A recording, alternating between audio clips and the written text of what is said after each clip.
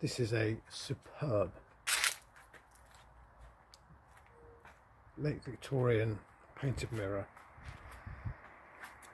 Enormous thing. Probably an old overmantel mirror.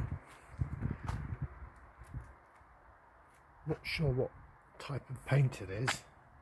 It has a sort of mid sheen to it. Okay, but the detail on this is just amazing.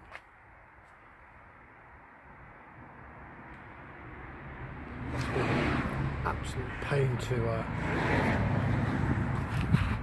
paint. See there are sort of flaws to the uh, finish throughout, but um, I consider the um, condition and the finish to be really very good. There's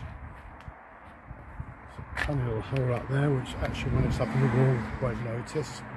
Obviously there must have been some piping or something.